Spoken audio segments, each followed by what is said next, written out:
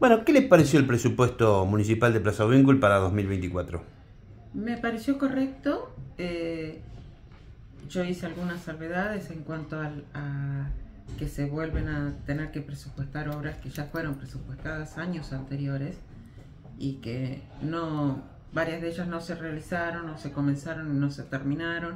Y bueno, hoy en día, imagínese que con el tema de la inflación, Claro. con el tema del precio dólar, con el tema de que muchos insumos son a precio dólar, Ah.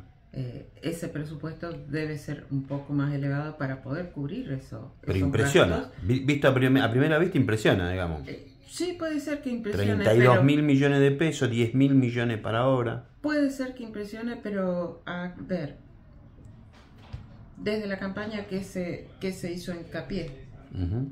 En poder cubrir las necesidades básicas y satisfechas de los vecinos. Bien, ¿Cómo lo hace?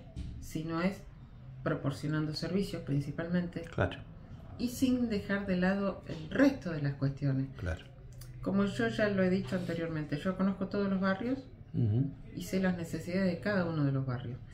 Y es, por supuesto que va a ser diferente la necesidad de un barrio Sí, central, o el 1 que... a un barrio Altos del Sur, Claro. a un barrio norte. Sí, sí, sí. o sea, que las están- necesidades son totalmente diferentes, entonces uno, calculo yo que eso también deben haber pensado desde Intendencia, eh, no puede dejar de lado las necesidades de cada uno de los barrios Claro.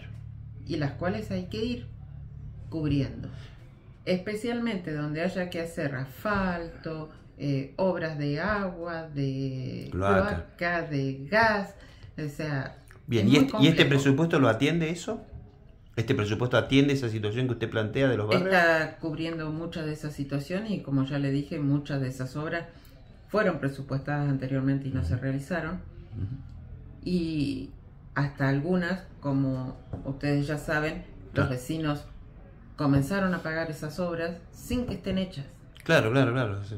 Bueno, y eh, aparece de nuevo la, la red de agua y la red de cloacas del barrio Islas Malvinas Argentina. Exactamente, porque Bueno, e- esta vez ver, supongo que Yune lo va a votar a favor. eh, suponemos que se van a poder realizar. Está bien. Suponemos Que este gobierno sí. lo va a concretar. Sí, sí. Está bien. Bueno, ¿y qué, qué otra cosa? mm, eh, Por ejemplo, yo veía que... Por eso justamente se le suspende el pago a todos los vecinos de Claro, ese sector de la cobro. ciudad. Se suspende el cobre. El, o sea, que no tengan que, Que ellos estar no tengan pagando. seguir pagando si no tienen el servicio. Y por supuesto, por un servicio que no existe Claro. y ni siquiera hay una calle y cómo va a haber un caño de agua, un caño de cloaca. Las calles tienen nombre, sí. Esto. Muchísimas gracias.